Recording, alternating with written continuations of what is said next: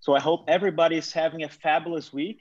And if not, don't worry, we will change that today because we have incredible people here with us that can inspire us all for a good weekend ahead.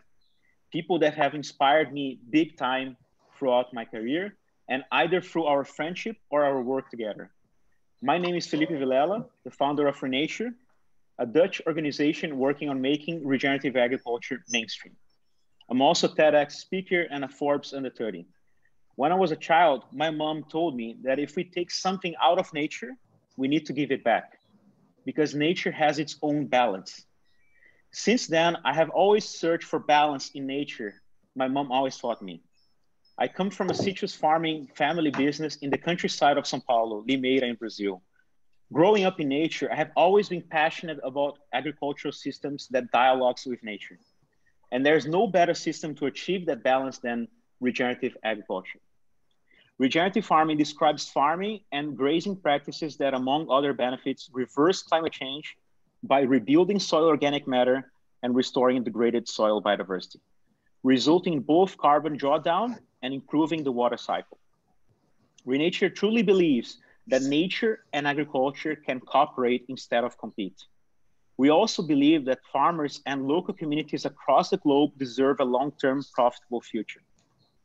As part of the leadership team on UN Food System Summit Action Track 3, Boost Nature Positive Production, I would like to challenge this discussion we have today around regenerative agriculture for a nature positive production system following the theme of this year's Earth Day, Restore Our Earth. This dialogue will be focused on restoration through systems change. I will be moderating together with this incredible panel with you know with all these people that comes from there are leaders in the industry to discuss the potential for a profitable transition to regenerative agriculture. So first, we will go through a short introduction of the panelists describing their work, their initiatives, and and also would like to challenge them to answer the question, why regenerative agriculture for a nature positive production system for our food systems in the next decade? Secondly, we will open for 30 minutes discussion around the topics of transition finance and policymakers engagement. Following the title, the role of corporates and investors in financing the transition towards regenerative practices as well as the role of the UN Food Systems Summit in engaging policymakers to adopt regenerative agriculture in our food systems. Lastly, we will have a Q&A session with you from the audience to try to answer some of these questions that has been raised and rank them in the top as the most interesting ones. If you like somebody's questions, you can upvote these questions so that we can see it in the end, which ones are in the top. So if you have got any questions during the discussions, please add them below on the Q&A option and the name of the person you are directing this question. Samantha, our head of communications, will thankfully have, or, uh, have organized this great dialogue today. We'll try to reply to some questions during the session. So now I would like to invite all our thought leaders. Uh, Christine Gould, CEO of Thought for Food, the most energetic and happy woman besides my mom I have ever met. Uh, she's she's she's the star. She's the star of engaging young entrepreneurs in changing the game in the food industry. Merijn Dols, Global Director of Open Innovation and Circular Economy for Food at Danone. I have met Merijn recently on our collaboration between Renature and the Danone, and I must admit, I'm extremely impressed by his passion, enthusiasm, and wisdom about nature and circular economy. Glad to know him well now, so I can always invite him for inspirations. And Emma Chow, lead of food and food initiative for the Ellen MacArthur Foundation, a courageous woman leading the food initiatives within EMF. Not an easy task as it has so many stakeholders involved in this process, and she does it perfectly well. And lucky her to have Mike in Brazil to handle Latam projects because he's doing an excellent job as well. Guilherme Amado, leader in sustainability quality for Nespresso, our physical meetings always has coffee and nature. Uh, Gui is, a is fantastically managing the portfolio of regenerative agriculture projects in Brazil, working directly with its suppliers and a big believer of agroecology. So not only Brazil, but also Hawaii. I forgot to mention that. uh, Jose Pugas, partner and head of ESG and agribusiness for JGP Asset Management. What can I say about Pugas? We have met a few months ago, and now we are setting up funds to regenerative agriculture playing beach tennis in Rio. And soon as he invites me, of course, we will play golf as well. Uh, so working for one of the largest asset management organizations in Brazil, Pugas is a genius in agribusiness and ESG industry in the country. You have got any questions about green investments in agribusiness? Ask Pugas.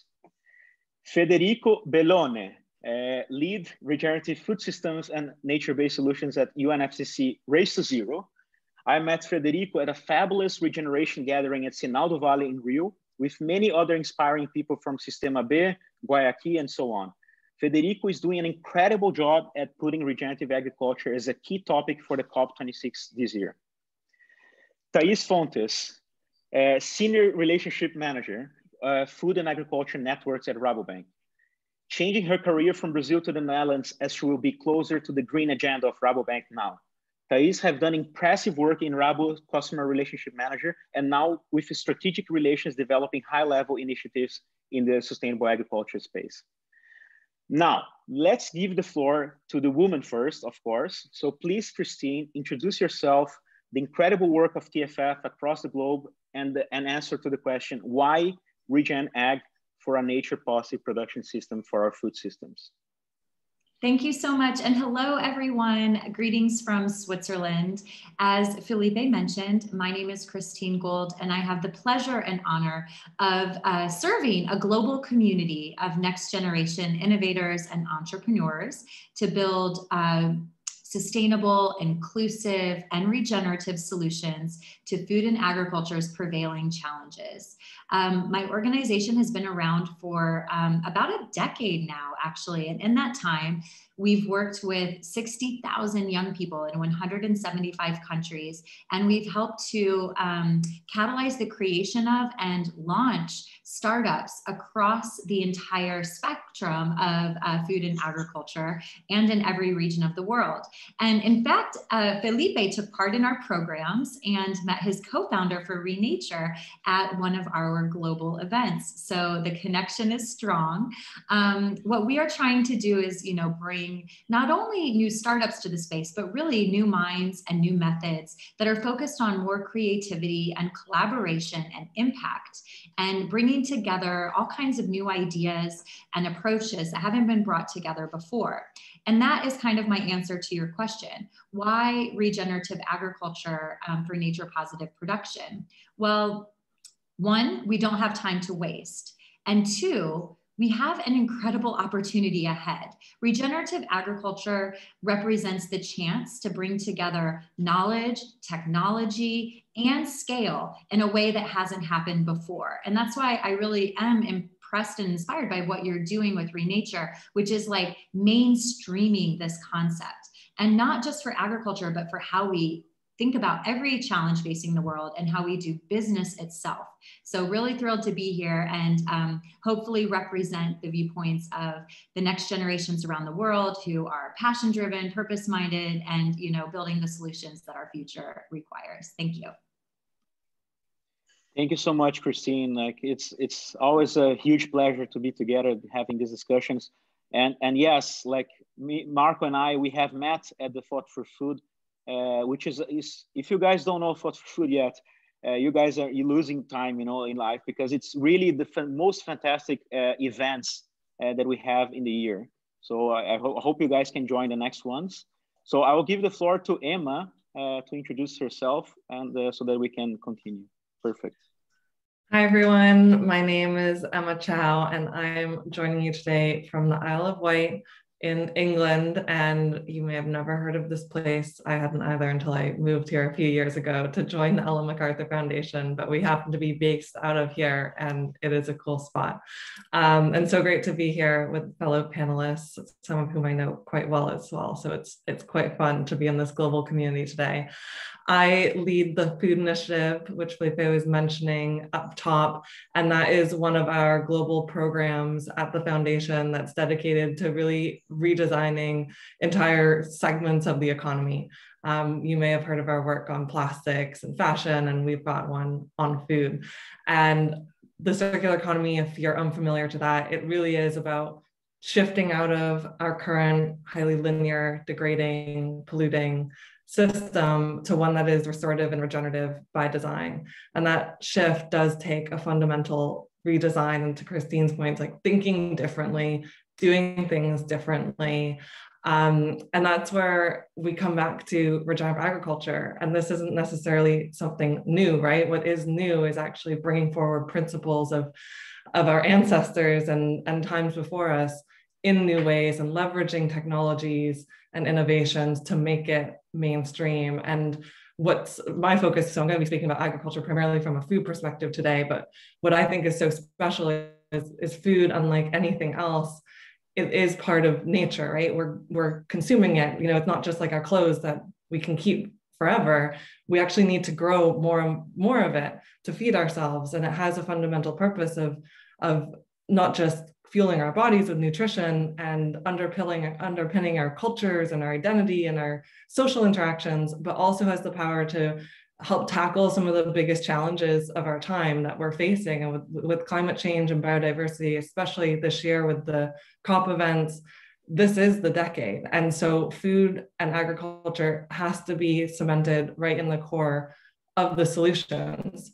And it does have the power if we do it right and we work with nature rather than against it, which we've been doing in recent decades. But it's just rewiring our relationship and working with it. Felipe, you were using the word balance at the beginning. I think for me, that's that's the word too. I'll stop there. Thanks so much. Perfect. Thank you so much, Emma. Uh, that's absolutely true. Like food has a, like a huge role for us to transform, you know, our industry and, and, and also how we we behave as humans in this in the environment where we are. Uh, so it's, it's, something that we need to have three days uh, on a daily basis. So so it's it's you know like it's the essence of everything uh, so thank you so much for the introduction. And now I'll move to, to Thais. So Thais, feel free to, to introduce yourself. Hi, thank you all for joining today. Thanks, Felipe, for inviting me for this event. I'm speaking from Brazil, uh, São Paulo, Brazil yet. I, am moving to the Netherlands, waiting for the consulate to reopen and all this stuff here. Due to COVID, some problems, we've been facing some problems. Um, yeah, I work for Rabo for nine years now, always in sustainability team, now joining the Food and Agri Networks team.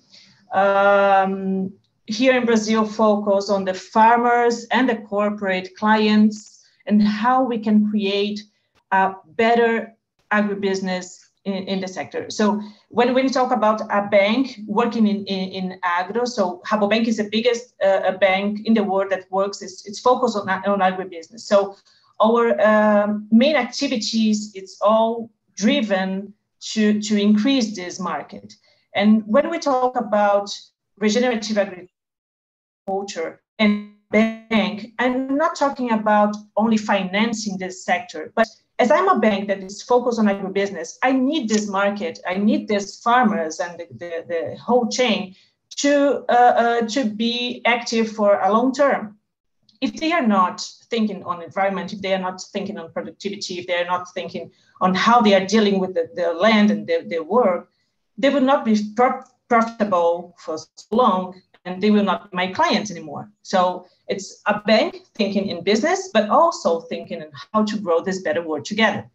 Uh, this is the main driven uh, or the main vision of Rabobank these days is how to develop and how to help our clients on achieving all these goals that is a common goal with all of these colleagues here as a panelist and all the, the people that have joined. So how we can do this together. Uh, regenerative agri is something that it's the solution. Uh, we have seen this in Brazil with uh, integration livestock crop forest system, for instance. So you take a, a, a, really degraded area and you can transform this in a super farm. And I'm not talking about only small farmers, but big, uh, big farmers as well. It's not something just driven for small ones. Um, yeah, uh, I will stop now to give floor for the others, and then we can continue the conversation.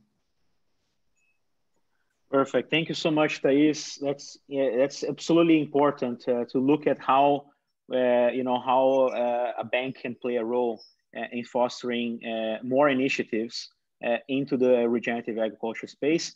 And it's incredible to see that the vision of Rabobank now is really looking at, you know, look, including sustainable agriculture, regenerative practices in their portfolio. Like recently I got, you know, the news that Rabobank is, is being part of a 160 million fund uh, in Brazil about regenerative agriculture. So it's, it's really amazing yeah. to see this kind of news. Yeah. Yes. Perfect. And then now I'll jump uh, to Pugas uh, so that he can introduce himself. I'm already saying his last name because we're already too uh, really intimate. but uh, but anyway, I'll leave him to introduce himself, and uh, and happy to have you here, Pugas. Thank Felipe. Don't worry, nobody calls me Jose anymore, not even my mother. So please feel free to call me Pugas anytime you want. Uh, I'm the I'm partner head at JGP. JGP is one of the largest asset managers in Brazil. We existed for the last two decades, so we've seen a lot happen in Brazil and across the world. But uh, on the last two years, we had uh, an epiphany, as I may say, uh, with the disasters at Vale, the temperatures that caused all the nature disasters in Brazil. We start to face through a reality, a hard reality. We have we are responsible for the consequence of our investments. Uh, financial sector is a data-based, uh, uh, it's information-based sector. We, so if you are an information-based industry, you can't ignore the data related to our responsibility over our investments. So here at JGP, when it had this epiphany, uh, we are people, we're not just a company, but we are formed by people, by human beings that have empathy with other human beings, uh, we decided that we had to change after two decades of existence, that we have to have a more uh, responsible approach to investment. And uh, nowadays, uh, for uh, regenerative agriculture, we accept the challenge to develop new innovative financial mechanisms to promote easier access uh, for regenerative agriculture here in Brazil. we know that have a lot of peculiarities in Brazil in the credit scenario that we can talk a little more later. Um, Thais is here to help me a lot to discuss about that. Um, but uh, I think that to answer your question about why regenerative agriculture, uh, mostly because we believe that uh, to feed can't be uh, can't mean to harm. Uh, to feed is a to nurture. To feed is a, such a, a, wonderful act. So we can't mean to harm uh, to harm the planet, the mankind, and the next generations. And uh, regenerative culture in, among all the responses that we studied by, by far the best way to approach the future of farm, the future of food production, um, mostly because it's profitable. Um, it's important for financial sector to be profitable. Uh, it's not a utopia. It's a real solution that can uh, provide profits. Um, it's nature positive, as you may quite well um, has told, and uh, it's farmer centric. And that's something that we have to foster more and more to improve the regenerative agriculture to be farmer centric. And regenerative agriculture has this power to talk with the farmer, to prove to the farmer that it's possible, to engage the farmer and make it happen. That, so that's why we believe that regenerative agriculture is the way uh, to the future of food production, not only in Brazil, but worldwide.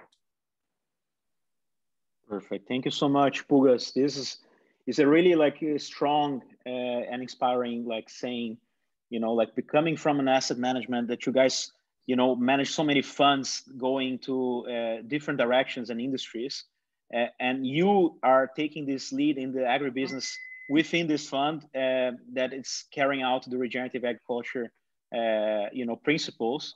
Uh, so it, it has like really like really uh, powerful impact over the long term to to have you on on that seat. So thank you so much, uh, Federico. Uh, the floor is yours.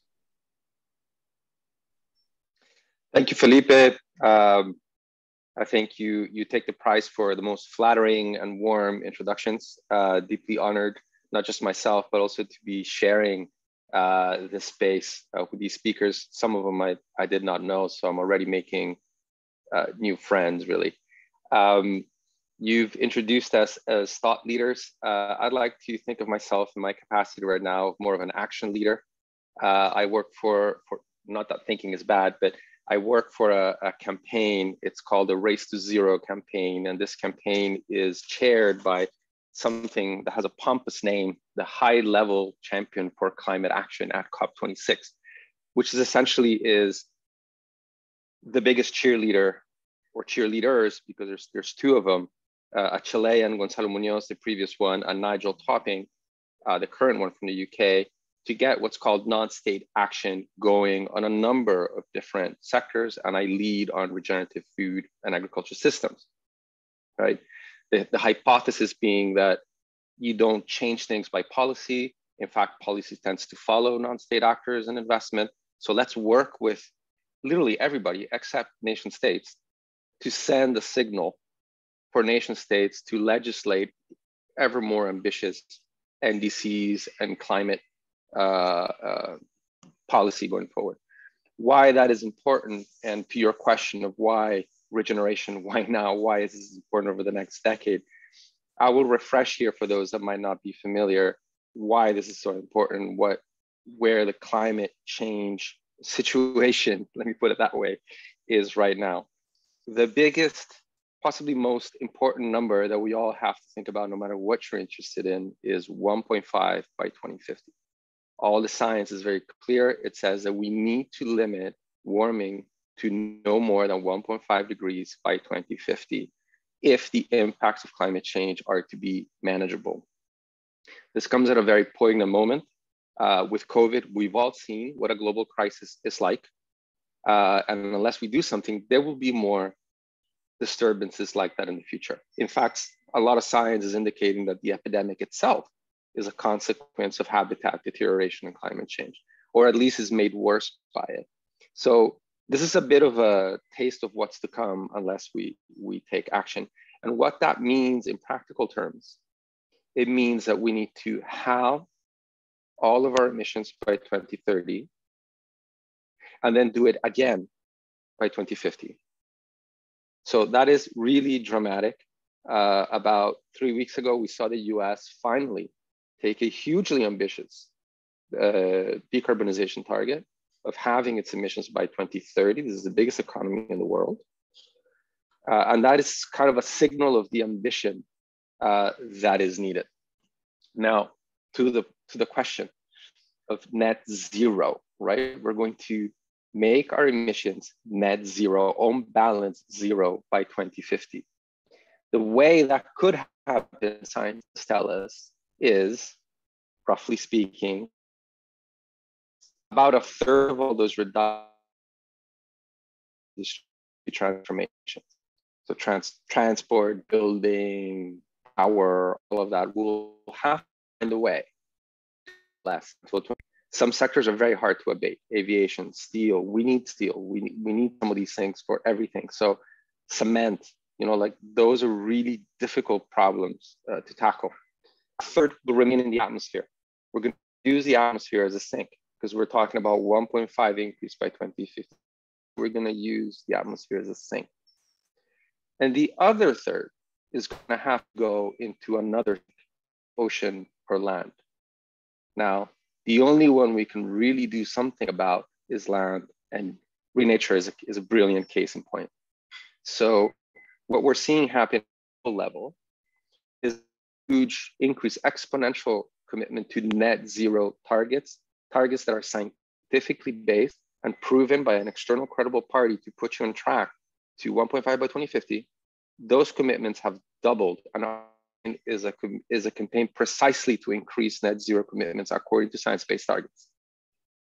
But the big looming question, the horizon is, where are we going to offset all that third of emissions that we need to get to to one five by 2050 and the only answer is agriculture. Well the only i should say the answer is stop deforestation and stop land conversion that is proven to be the largest source of emissions that always needs said but then what happens on the other side of the fence well we need to change agriculture so that it becomes a net sink of carbon and not a net source as it is today.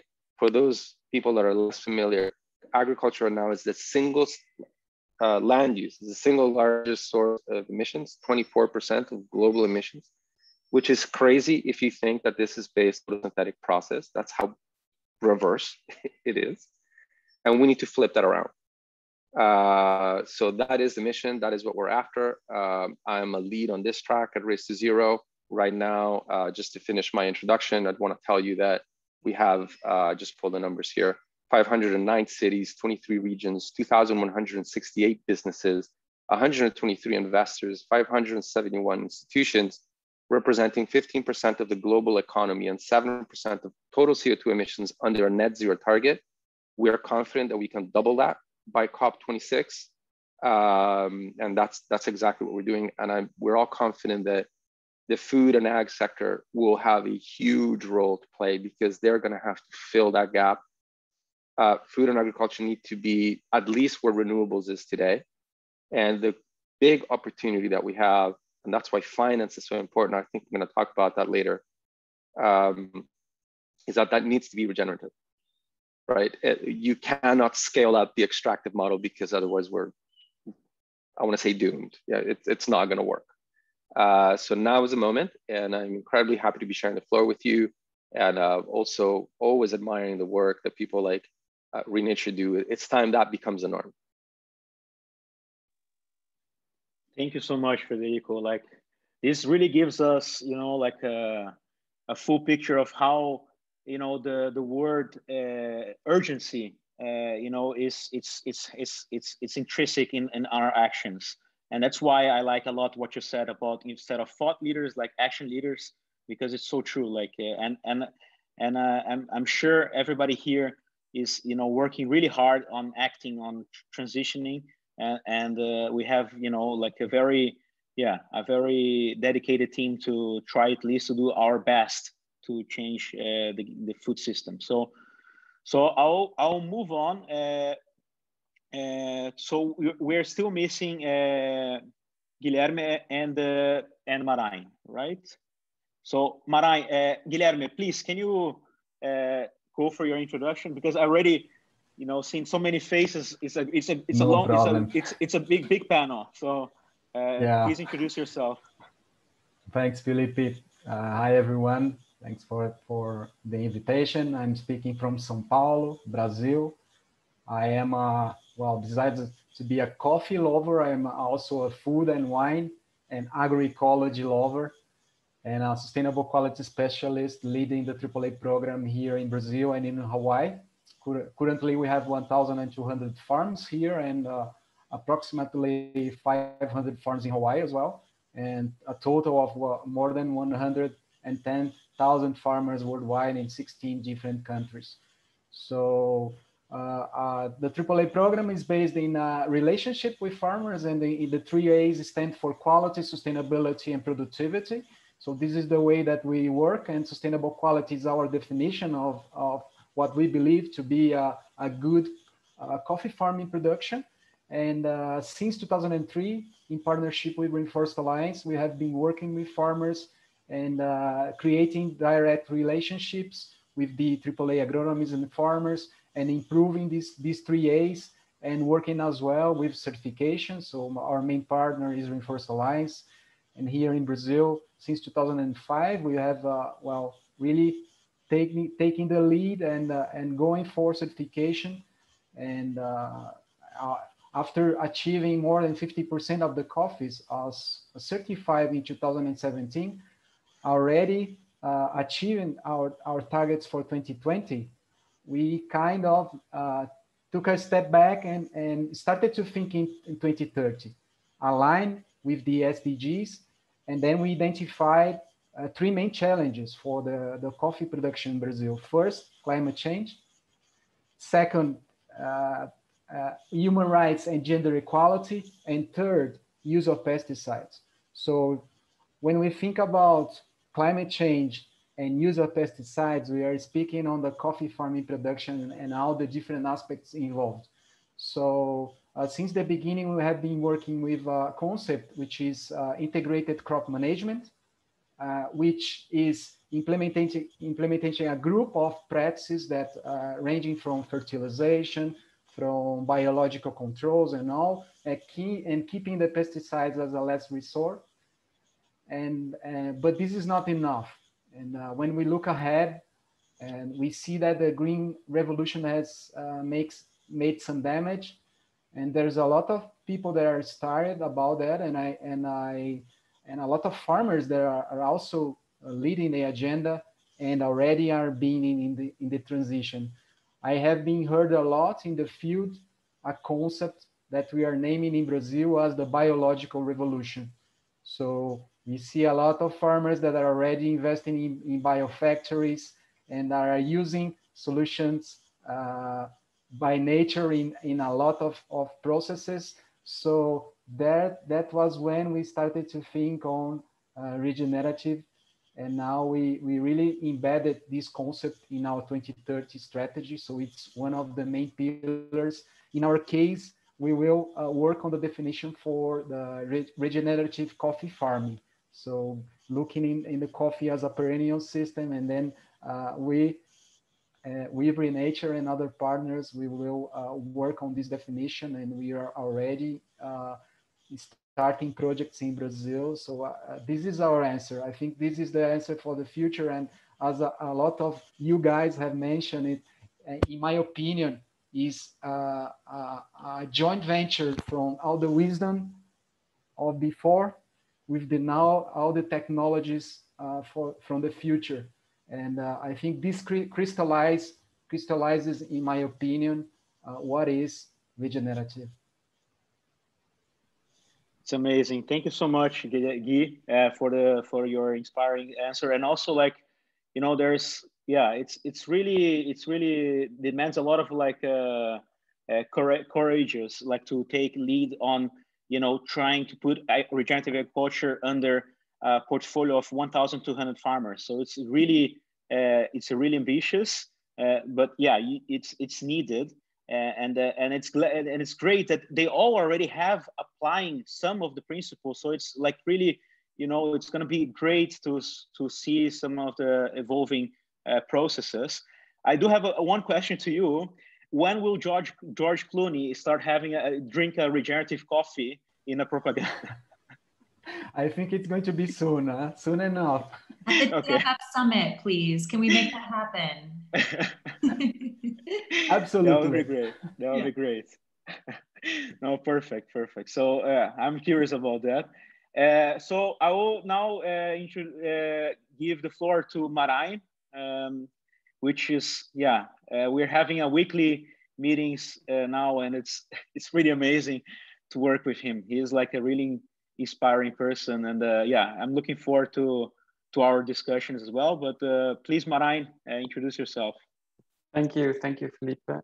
Um, I'm excited to be here. Uh, so yes, I um, I always uh, introduce myself as a circular economy activist who uh, happens to work at a big food company called Danone. Um, and within the organization, uh, I focus on the intersection of open innovation and the circular economy for food. And um, I focus on that intersection because I strongly believe that innovation is actually the adaptive power of the system. And to come back and also start answering already a little bit that question uh, that you raised about why uh, regen and what for a nature positive uh, system. I think it was already mentioned, but the food system is a nodal point within a larger system level transition. And as I was listening to uh, everybody else uh, introducing themselves, I actually think that what Emma gave, which is really interesting, is Emma gave the vision uh, for a new system, a new, an alternative economic model that also includes the food system, which is shifting from where we were, which was mechanistic and very uh, anthropocentric, so very much centered around humans thinking mechanistically, and to Guy's point, um, disconnecting ourselves from that that uh, that ancient wisdom, um, but had a degenerative effect on everything that we do. And what we are now moving towards is we need to move towards a biocentric uh, worldview, um, a system that actually works with nature, where we are bio becoming. um, where we start to embrace resilience, etc. And um, what I think is interesting that um, Federico was basically giving the goal. Why do we need to do this? Well, here's the goalpost. We need to meet this 1.5. Uh, and Christine, I think, is bringing in here um, the, the community of activists. I call this on a previous call with Christine, actually, the food generation, a generation that is uh, ready and able to actually shift, make that system shift through innovation. And so I think that that is basically why um, regenerative agriculture is so important because it's a nodal point within a system shift, but it's also a point that we can relate to. When we start to look at regeneration in the broader sense of the world, including social regeneration, it becomes often um, fairly theoretical and hard for uh, people and also consumers as they stand in front of a shelf to relate to. But when we think about the regenerative capacity of soil, it's evident. And to the point that was made before, if there is one system within all of the systems around it, within the larger system that we live within, that actually has to become positive, it's the food system. Aiming for neutrality in the food system, or even being just restorative, but not building capacity, not going all the way to regenerative, simply isn't enough within the food system. So if, if you think about it that way, I would say it's a no-brainer. Perfect. Thank you so much, Merijn. Yeah, it's this is a really good uh, synthesis and overview of all the contributions for the for just the introduction, which is just the beginning uh, of our session. I mean, we do have a way to go. So, like now, I really would like for us to jump into a you know a discussion. So, thanks everybody for the introductions.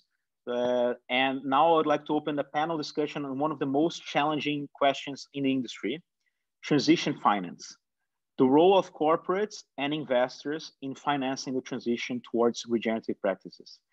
This panel is meant to be a flexible bar conversation. Drinks are on Pugas and Thais bill, by the way. Just kidding.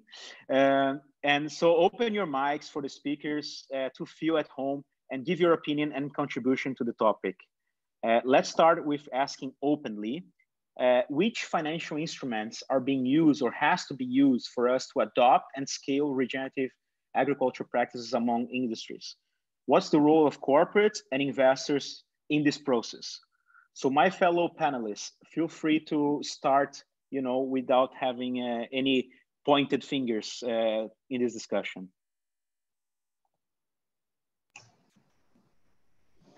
I think that I can start. Then uh, I just We'll open Every the, the discussion here. Can you hear me? Yeah, we can hear, but everybody can yeah. open your mics as well. So yep, we can okay. hear you just fine. Yeah. Yeah. So I think that there's uh, depend there's there's a lot of, of financial solutions in place, and for sure this is something that we have been developing all over the, the years, and every day a new uh, uh, um, idea on financial solution. This is something that happens when we talk to a client or talk to another financial institution. Um, there are many mechanisms in place. I think that depends on the focus. So if you can on the, the farm level, I think that we have a differentiation between the smallholder and the, the big farmer. So the big farmer, he can take a, a uh, Are we missing Thais? Yeah, she yeah, froze. Breaking up a little bit. Yeah. Yes. Okay. Well, like um, oh, a remix of Thais. but uh, um. if anyone wants to jump in and uh, you know express your uh, your your you know your view on this topic, uh, feel free to do so. Felipe, well, if, if I, I may... oh, go ahead. Please. Jose, please. No, no. Oh, for ladies first, please. okay. I can... Okay. Excess of education. That's the problem.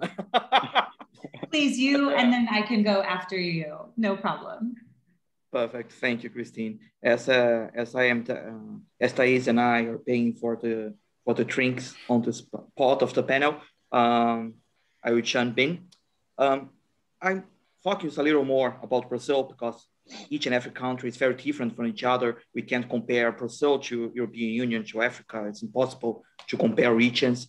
Um, here in Brazil, we have a highly concentrated banking system. We have very few banks providing credits to the producers, to the farmers. And not all the banks are so serious and eco-friendly as Rabobank that is doing a wonderful job for low carbon agriculture in Brazil. Um, we have shortage of uh, long-term uh, loans, long-term credit. We don't have patient capital in Brazil to provide long-term uh, financial mechanisms, credit funds. And uh, if you want to jump to into regenerative agriculture, you have to have access to long-term, to long duration loans. You can't have a, a only one year uh, uh, term. That's the one, that the kind of uh, credits that we have available in Brazil nowadays. And historically, we have been very dependent on depend on the federal government. most of the of the money provided for as loans uh, long-term loans to the producers in Brazil is provided by the federal government. And nowadays with the COVID-19, uh, the revenues has uh, dropped, as you may figure, and the costs uh, are very high, high now in, by the federal government. And uh, of course that we will not have the, the needed, the money necessary to do the transformation to provide more loans. So uh, we have, if you want to promote the change into direction of regenerative culture, we must face those challenges. Uh, creating lines that are not only suitable for the regenerative culture, but also much more seductive than the traditional credit lines that are provided nowadays for the traditional farming.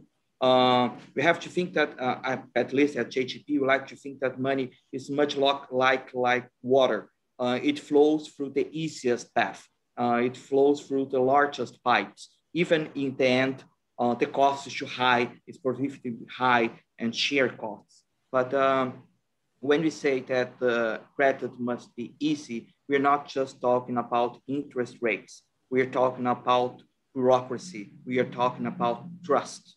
Uh, here in Brazil, more than 40% of all the producers has never accessed credit lines. Uh, they are always access credit lines through resellers, through cooperatives, through multinationals, through traders. And uh, these are not the best uh, credit lines to access, uh, but they are the one that they trust. That's the one that's less bureaucratic.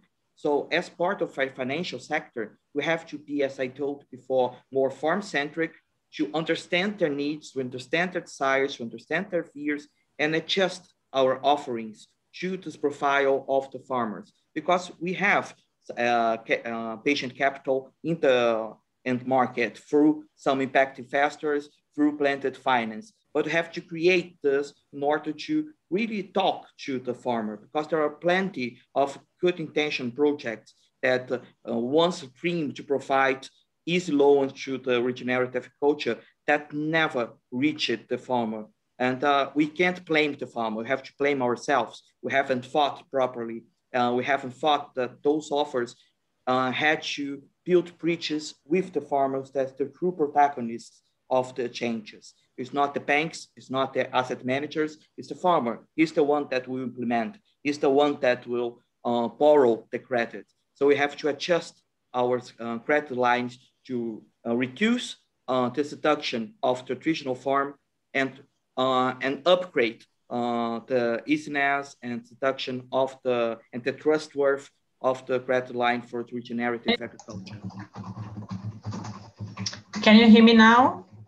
Yeah. I'm back. Yes, okay. Yeah, I don't know. I was just occupying the stage for you. yeah. Uh, so it's a, it's glad to be with you, Puga. You know. Uh, I, I miss what you said. I, I just got in the middle of what you were you, you were saying, but at the end I got your message of focusing on the rural farmers and their needs. I think that this is the most important and relevant thing to say right now because when we talk about financing a farmer, we need to understand what do they need. They need financial a financial solution. They need long term. They, they need a, a better interest rate or they need technical assistance. Sometimes he, has no idea on how to apply this. So he can has the credit, but he has no idea on how to apply this new methodology or this uh, regenerative agriculture in the field. So trying to build and trying to bring this together, and I will put here the Agri3 fund that we have, that it's something that makes together the technical assistance and the loan in order to boost the, the result. I think that this can be one of the financial solutions that we are discussing here to boost the, the, the regenerative agriculture. Another thing that I want to say is regarding the smallholders when we talk about access to credit. And I, I, I heard that you, you mentioned this, Puga. Um, the access to credit is something that it's quite difficult here in Brazil. I, am focusing here is here is my experience on working on the farmers. Um, some of them has no title of the land. Some of them has uh, uh, not, not don't have the documentation of the area. So how to to to provide this guy a credit? Um, so and in the other hand, when we talk about a regenerative agriculture, so he, he has today uh, uh, one system, he, he uh, understands what he's doing, and he needs to shift into another uh, uh, agribusiness solution. This transition must be something that they, they must understand what, uh, what are their risks as well. So when a bank jumps in into this discussion, the first thing that the bank asks is, how long have you been working with this commodity? And when we're talking about shifting the, the strategical plan of the, the farm, it must be really robust to bring uh, this comfort to the, the, the, financial solution as well, the financial institute, uh, sorry, as well, to bring the, this comfort to, to, to, uh, to be able to finance him. Um, yeah, just an additional information here too. Those are very important two points, and that's also like what makes the life of farmers challenging to make decisions on which kind of financial instruments they can choose. Is is also because they have, uh, you know, if they're willing to change their uh, agricultural system and apply new principles, it means that they need to spend some sort of like uh, capital to design a system in which will make sense as uh, you know a notion for him on the business model. Because the current business models they have in which they go for out out for a credit or an investment is based on the conventional uh, agriculture practice. So so there's a lot of you know uh, capital that needs to be allocated as, as a pre-finance or a pre you know uh, investment uh, on an early stage to allow these investments to become bigger and, and, and grow with the farmer once the design and, and the context has been defined with the farmer. Um, sure. But there are very and, and here, few. Yeah. But yeah, no, please. Go, please. No, here, here we can count on de-risking facilities as well. So de-risking facilities is the one that you invite to be part of the, the, the solution, the financial solution. And this could be a company, this could be Danone, this could be uh, Unilever, this could be any, any big company that work, wants to work together on a de-risking facility to invest in these farmers. So this is another thing that multi-stakeholder yeah. approach. Yeah. Uh, Federico, you raise your hand, so I will give yeah, give you the voice as well. I will come in before, right? Oh, I'm sorry. I want to respect the order. Okay, uh, so we have uh, Christine, then yeah. Federico, then Emma, and then Pugas. Yeah. Thank you so much. Yeah. Well, just very quickly, I wanted to interject a, a couple of points. The first one being that I think this point of the transition is very important. And in that case, there is a lot of creativity and excitement at the risk of even becoming hype right now, but about how to fund this transition. And I get asked a lot by journalists, investors, startups about, you know, carbon farming. Is it real? Is it not? What should we do? Um, and my feeling on this is that we know that a lot of the practices that are being incentivized in carbon farming are good for the world. They help to improve soil health. They help to protect biodiversity and can help with water use efficiency and other types of environmental benefits. Now, there are questions, of course, around the um, verification, right, of how much uh, uh, carbon is being sequestered. It, we also need to look at, you know, other greenhouse gases. And but at the the point is these questions need to be considered and they need to be taken seriously. But we shouldn't like stop something that we know has some positive impacts, whether or not it is sequestering carbon at what levels for how long. Because there are the, these benefits that we know from cover cropping and optimizing production in the right places it, it's kind of like an intensify, intensification of agriculture in the right places so that we aren't just growing more crops in places that actually aren't um, highly productive and i've seen some really great companies actually using like drone technology and geospatial information to really help you know make decisions for farmers as well as a plethora of companies that are developing the sensors and the measurement tools and the validation, et cetera. There's a groundswell of innovation that is following a bit of this excitement and hype. It's the gold rush, if you will. And like, I think it'll be interesting to see how this plays out. The other thing I think is really important is the government's role. And in this point, you know, you've seen governments talking about payment for ecosystem services, how, yeah. you know, the public goods can be factored into um, some of the mechanisms and subsidy programs that they are providing. And I wanted to just mention one really fascinating thing that I just read yesterday. I posted about it on my LinkedIn.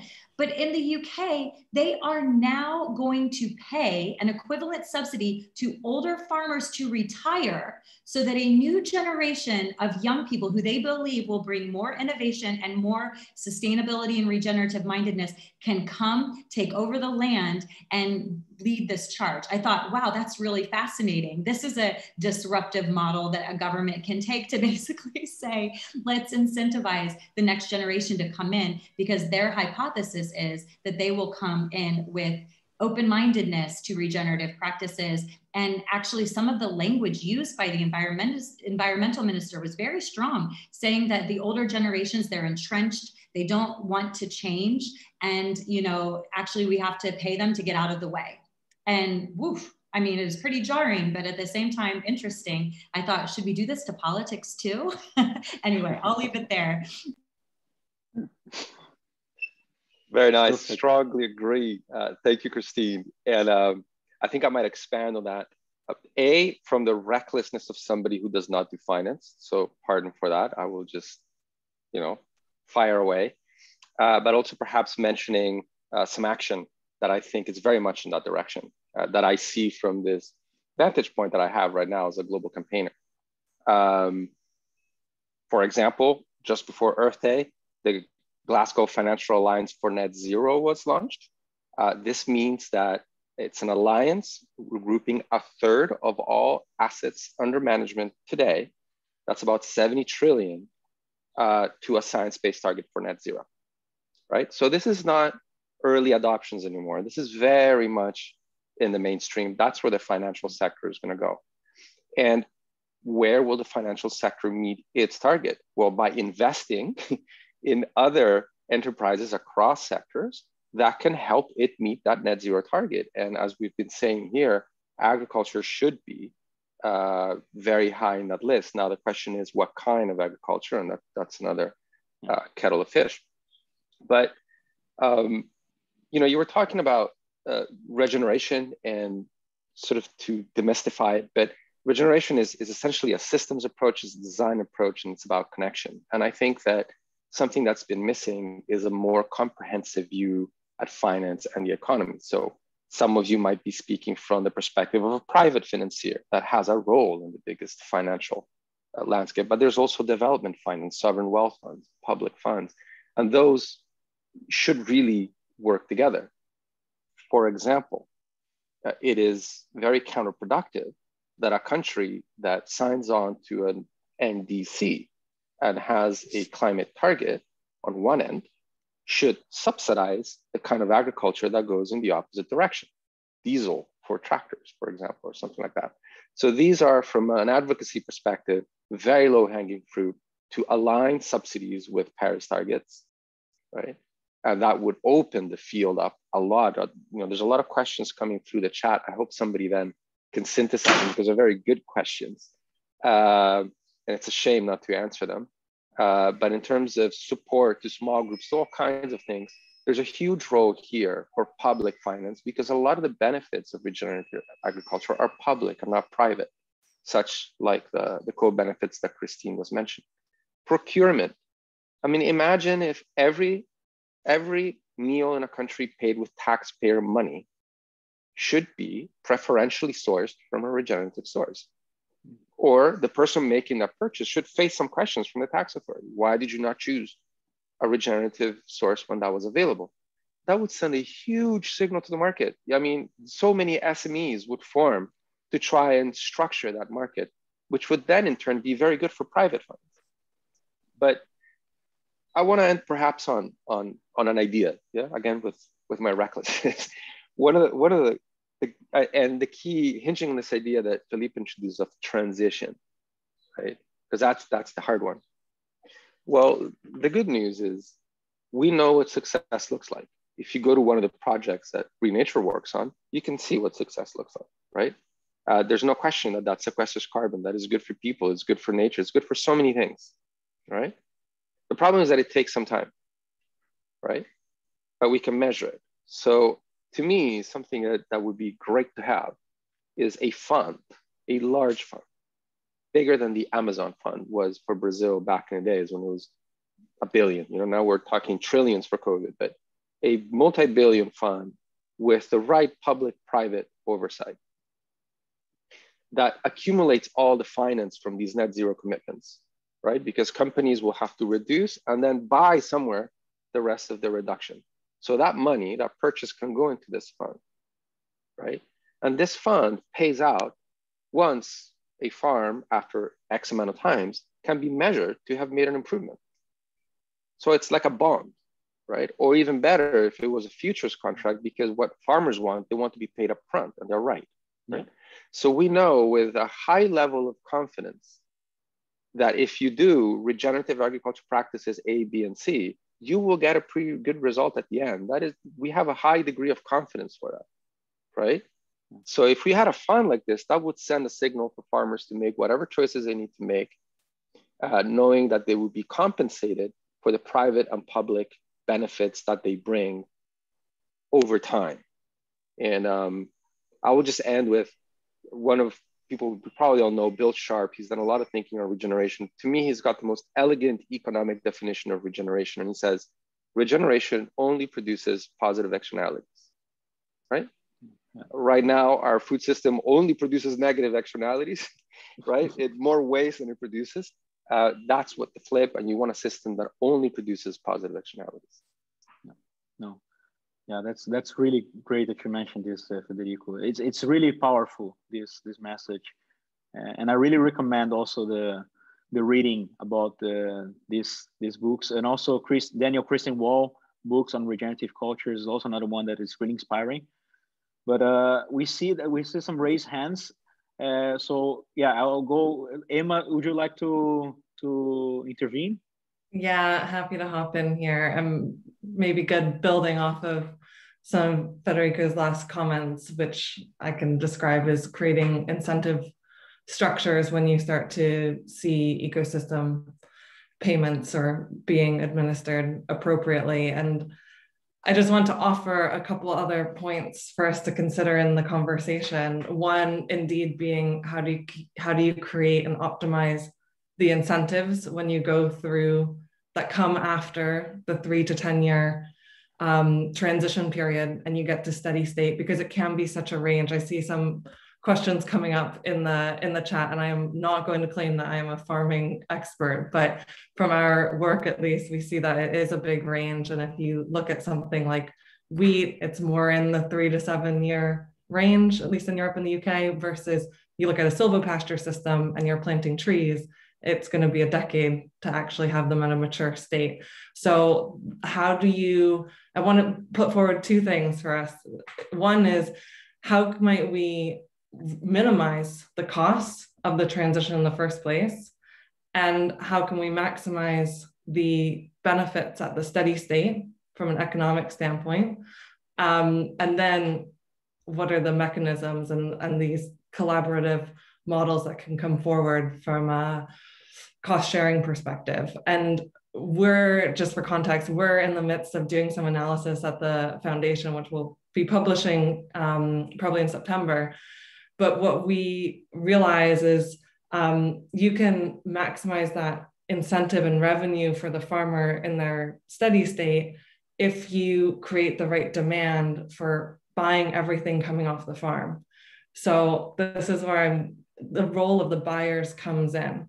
You know, companies like Nestle and Nespresso and Danone, who are major buyers, and they create the markets, right? The actual markets. These aren't the the newly emerging ecosystem markets. The actual markets for those ingredients.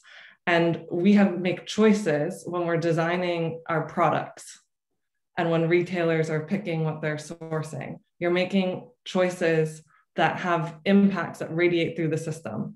And so you can work with your farmer. This is why it's so important to work with the farmer, right? It doesn't come afterwards.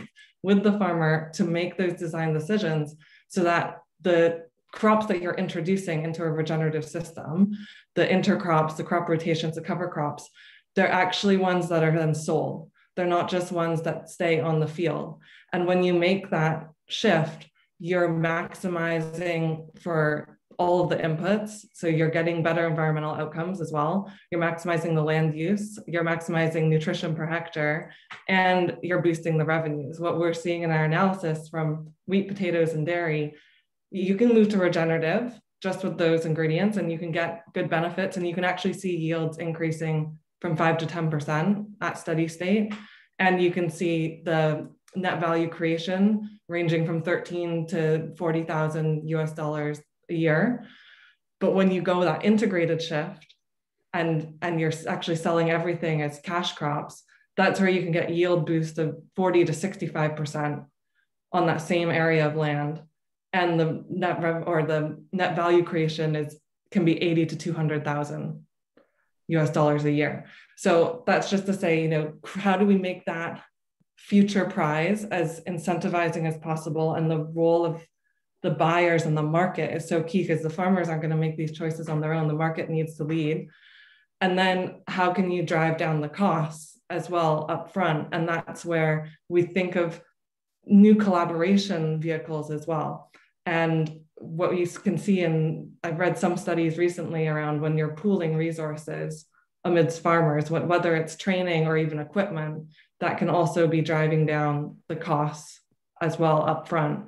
And then comes in to Thais and everyone else's great comments around, you know, it is multi-stakeholder. So it's not just about the farmer, it's not just about financial institution. What about the contract terms? Where do those those pots of money that more and more companies are allocating to supporting regenerative agriculture transition? How is that coming into training hubs or model farms and doing that in a more collaborative way to optimize everyone's resources?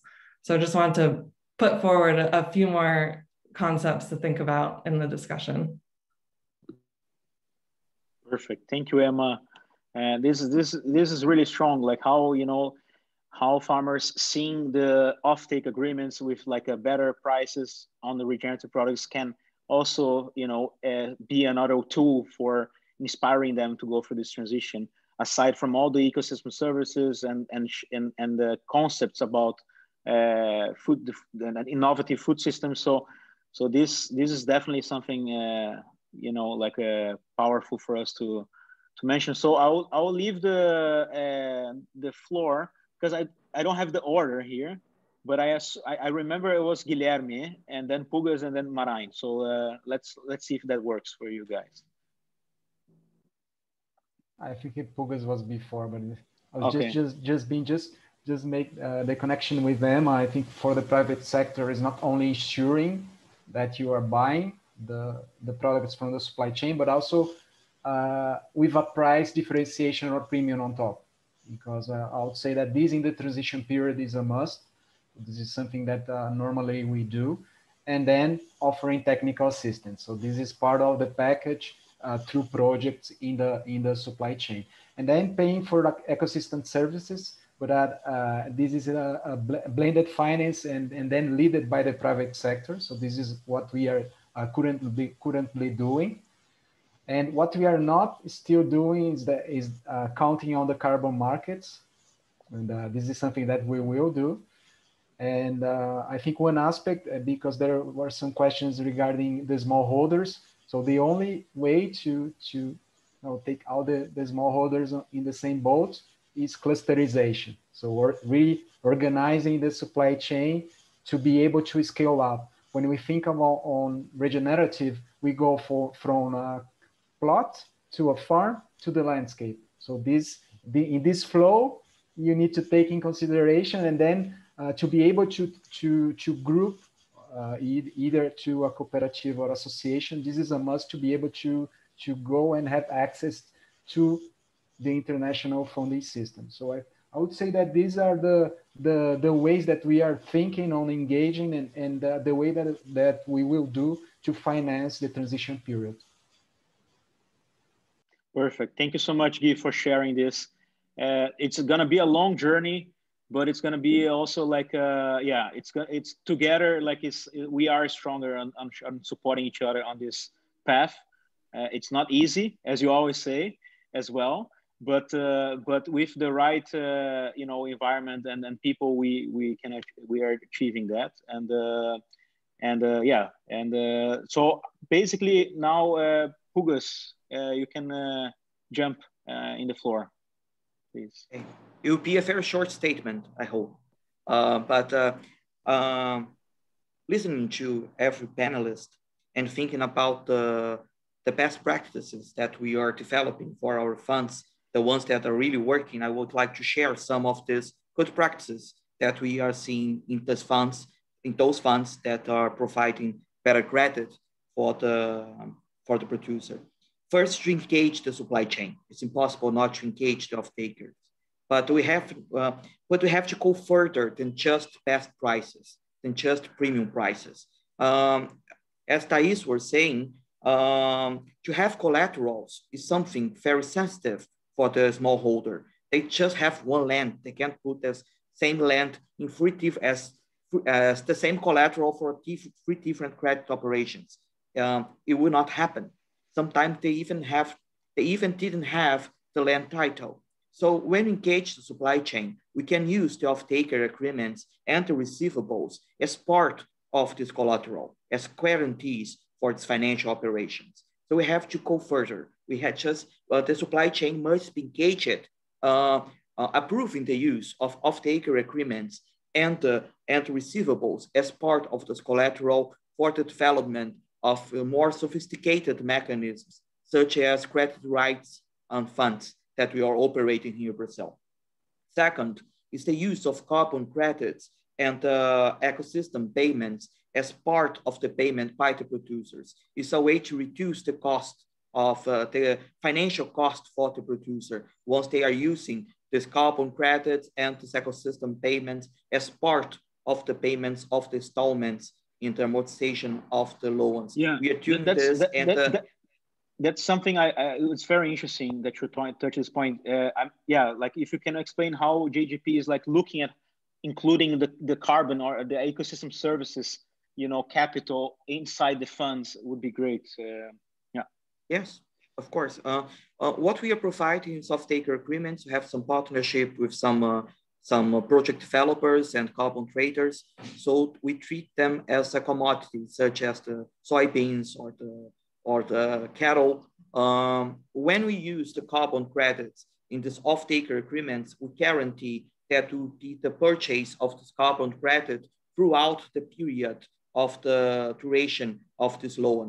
So uh, we have the, the assurance that this carbon credits will be converted into money and the money will be cashed in the credit right fund. So uh, we have a full operation. We face this carbon credits as a, a different kind of revenue for the fund. So we can, of course, uh, allow the producer to engage this carbon credits, this ecosystem payments inside uh, the credit right funds as uh, as the same uh, the same level that we accept uh, the money or the harvest or any other uh, revenue stream uh, for this uh, for this.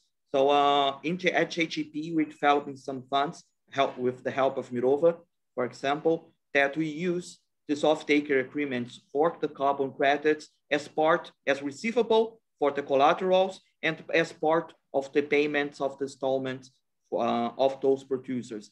Uh, for example, in agroforestry, uh, you have a, a, a, major challenge to provide profits enough to pay for the interest rates, but they produce a lot of carbon credits. So why not use the carbon credits, this ecosystem payment, more than use the, the profits of the crop that are very, very little in the beginning of the production. So uh, they're not enough for to sustain loans. Uh, so uh, we are certain this in some of our funds. In matter of fact, in almost all, all of our regenerative agriculture funds with cooperatives, with off-takers and others uh, beneficiaries of those funds. And that's something that we like to say that we are always asking producers uh, together in cooperatives, in association, in supply chains, because when you do that, you reduce the cost of the, you dilute the cost of structuring the sophisticated mechanisms, reduce the cost of project developing for farmer or carbon farming that is very high, but we have, when you have a, a cooperative and you have this association, uh, it reduce the cost and reduce um, also the cost of structuring the, the funds, not only the carbon funds, but also the credit rights funds mainly because we insert the costs inside the fund costs. We are not, we are not treating it separately. We are treating all together. And when you treat that all together, we have this reduction of final cost to the producer. And um, I would just like to end my statement. Um, Federico, if you want to develop this fund, count on us to think outside the box to make it happen. A wonderful idea, count on JGP. Perfect. Thank you so much, Pugas. This is this is excellent. Uh, it's it's it's much important in this role, like uh, on on this in this field of regenerative, because it's it's very new now uh, that uh, you know fund managers and asset managers are including regenerative in their portfolio. So so you know, and all this buzz on ESG. So it, it's very important now to align on expectations and trying to work together to reach the target. So really amazing contribution. So Merijn, uh, would you like to take the floor and uh, give us your yeah. view on this topic? Yeah, I'll, I'll, actually try to do the same thing uh, again and try to synthesize a little bit. But I think what we're seeing is um, three, maybe four major blocks here. One is we're faced with a uh, financial model, an economic model that is no longer fit for purpose. It's not broken, but it's simply no longer fit for purpose.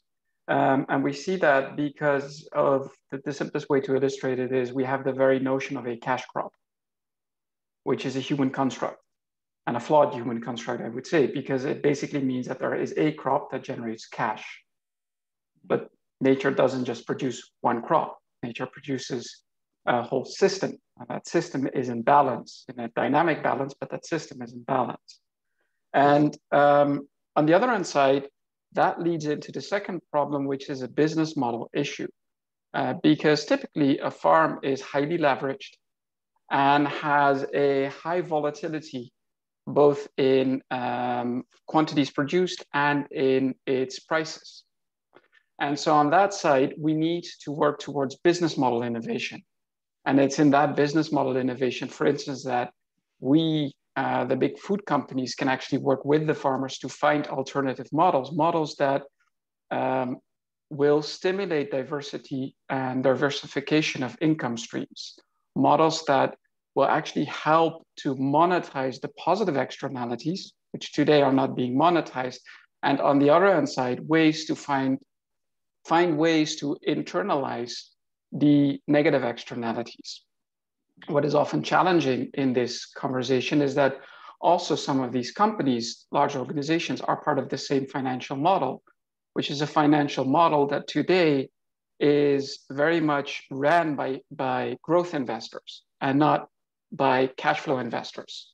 And so the resilience of your investments is underappreciated. And we look at the short-term return, but we don't necessarily look at the long-term resilience of those investments. And in all that, what I what I think that we always also have to remember is that it the farmer isn't the problem. the farmer is like doing exactly what the system is demanding from the farmer. And so if we talk about farming, what we have to address is a system that is no longer fit for purpose. And what we have to do, rather than tell the farmer they're wrong, they're not doing things the way they should be doing, we have to start designing for something different. We have to help that farmer to uh, find their agency and empower them to actually be able to have a healthy business and have a regenerative ecological. And I saw some questions in the um, in it's the nice. chat. It's, social impact as well. Yeah, yeah. Like what Ernst calls farmers also is like ecosystem engineers which is very interesting uh, related to what you're saying as well yeah and and and to that point uh, it's about stewardship and and to that point of ecosystem engineers the, the the fourth thing that i think that we miss or that we need and it comes back to um, the volatility or, or the lack of foresight is data um, regenerative industrial mechanistic farming is is is easy to scale and roll out because you kind of place yourself above nature and you start to control the system with all the negative and degenerative effects that it has. When you move back to regenerative practices, your practices become highly localized and specialized. And therefore, there's a lack of foresight. And that lack of foresight is just like Thais was saying, that's a problem in today's financial model because when you come when you come to that banker they're going to want to see numbers. And even for yourself as a farmer, how long is my transition period going to be? Well, to date, we're unfortunately not at the point where we can simply put that into a model. So I think it's all four of these that need to be addressed.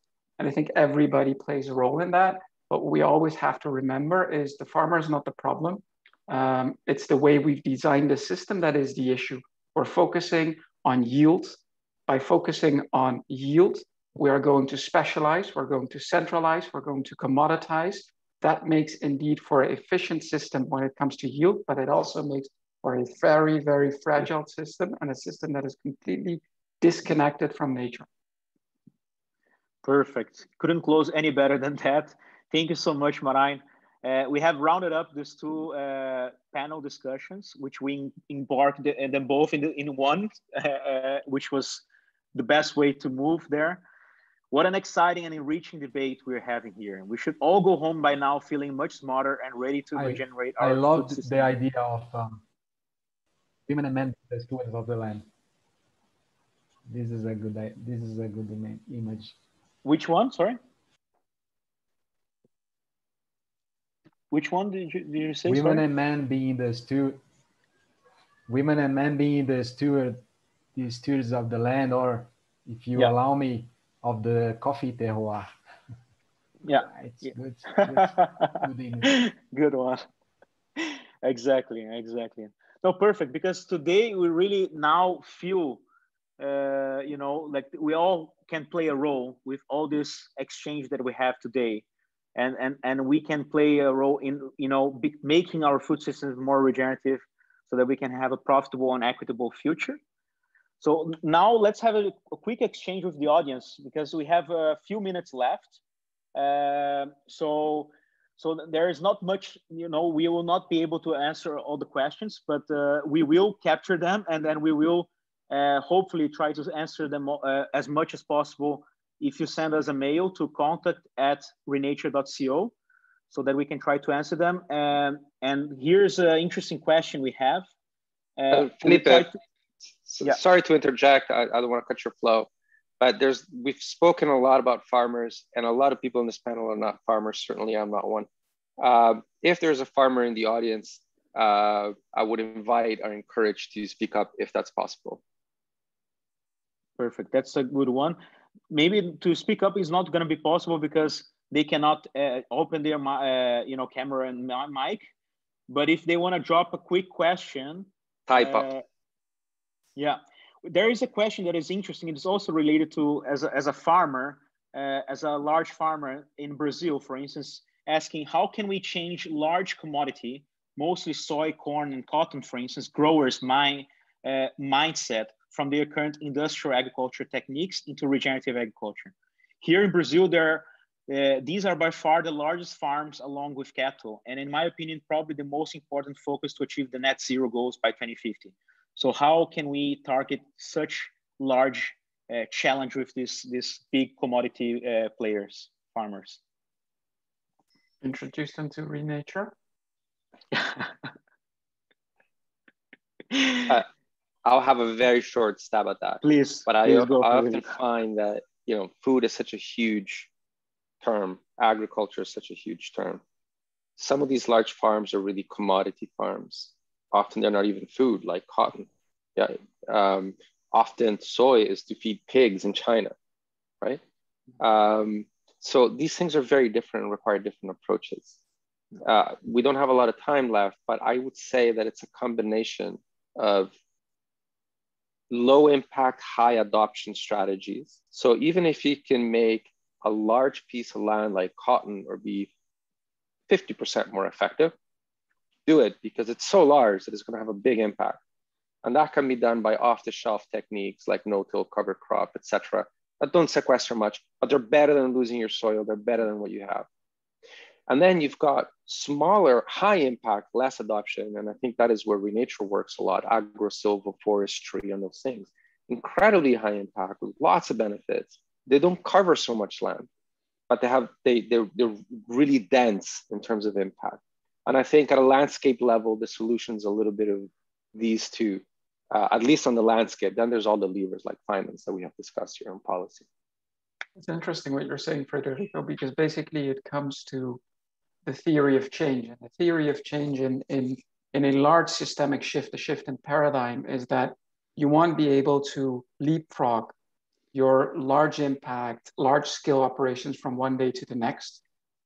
Um, but in those, you're going to have to move through those stages, going from degenerative to being neutral to being restorative to in the end goal become regenerative. And in the meanwhile, in the niches, and that's just the way nature innovates, right?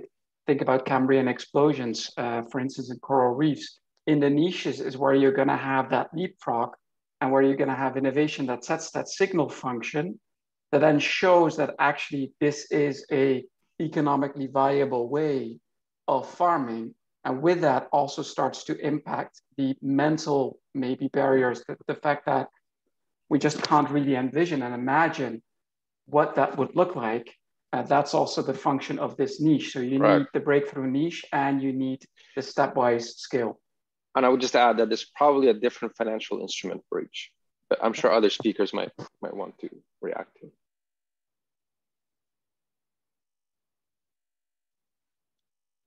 Or not as well, which is fine.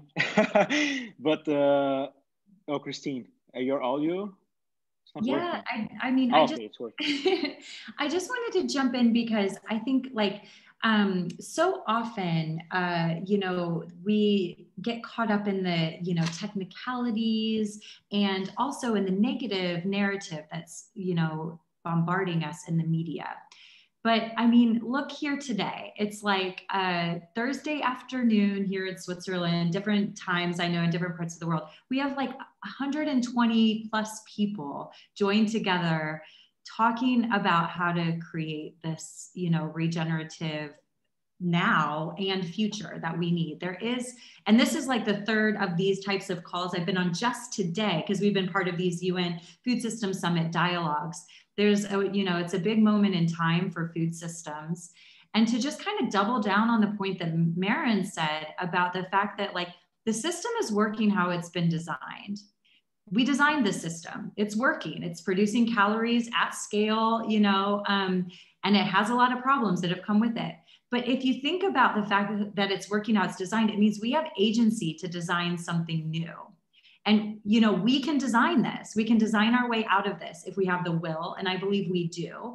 And we have the way, you know, and we're figuring that out. And we have the technologies and the know how.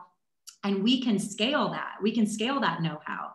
And interestingly, in some of the sessions I've been, you know, that concept of scale is like changing. It's not about a one size fits all solution scaling, it's about knowledge and know how and principles scaling and knowledge scaling. And this is really exciting because technology can allow us to do that. and to the points that have been made we have to build the business models around this etc but i think like what emma presented in terms of those numbers is like yeah that's the narrative we need to get out there and fast. And we all have the capability to do that, whether we're farmers or not. We can beat the drum on this story and um, show what's possible. So I just wanted to mention that because I always, you know, get excited by this stuff and want to inject that into, you know, everybody else.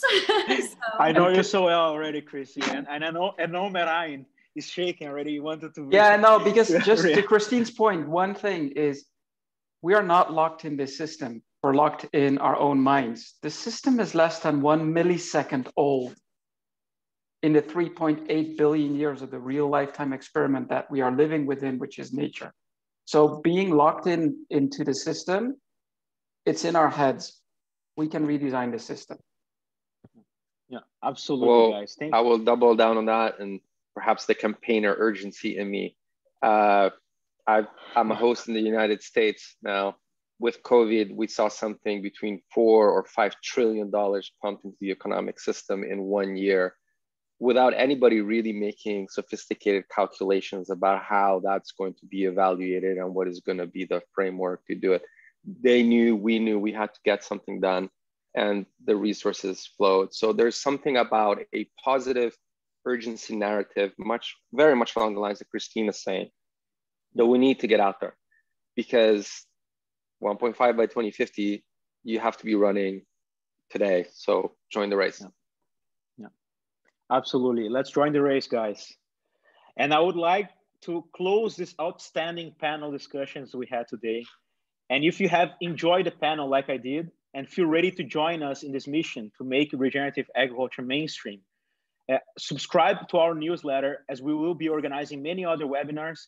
And once COVID allows, we will also have many practical field workshops with farmers because before COVID came, Renature was already organizing a program called Change Makers, which is bringing individuals to come to the field and put their hands in the soil and feel the, you know, feel the, the, the regeneration by practice. So, so thank you, thank you very much uh, to all the speakers and for the inspiring presence and words that you guys have brought to us. Also, Renature Communications team, Samantha and Misha, who have greatly organized this open dialogue. Let's together spread the good news around us. Let's together make regenerative agriculture mainstream. So thank you, everybody, and uh, let's do this. Thank you. Thank you very much. Bye-bye. Thank you. you so much. Bye. Bye. Bye, guys. Thank you. Bye. Take care. Bye-bye. Bye.